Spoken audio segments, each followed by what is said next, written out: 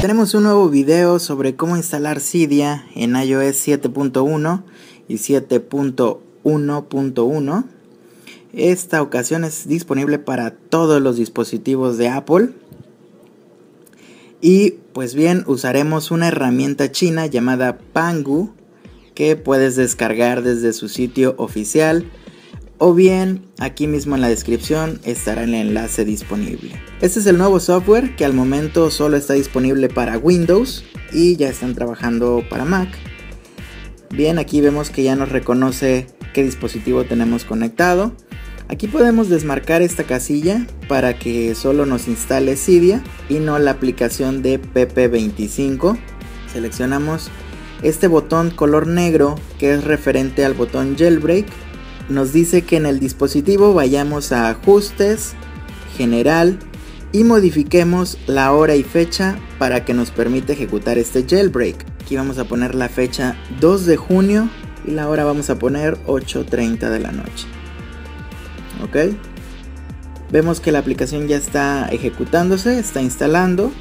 Nos regresamos al home screen y en el dispositivo nos aparecerá un icono, el icono de Pangu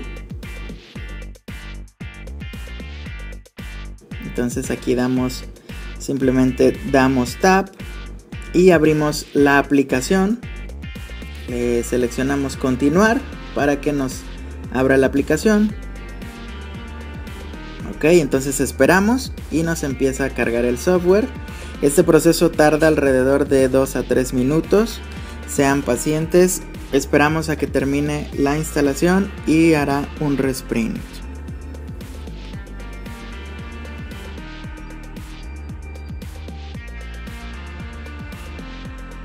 reinicia. Y aquí vemos que aún está el icono de Pangu. Entonces vamos a esperar. Se reinicia nuevamente automáticamente. Y tras el segundo respring nos aparecerá o nos modificará el icono de Pangu. Se convertirá en el icono del maravilloso Cydia.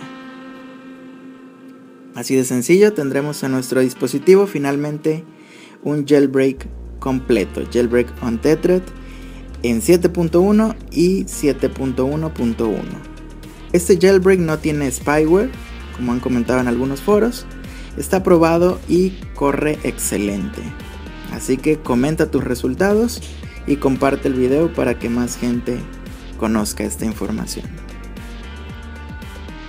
Mi nombre es Omar de iPhone Solutions Monterrey Suscríbete al canal y agréganos en las redes sociales. Hasta la próxima. Chao.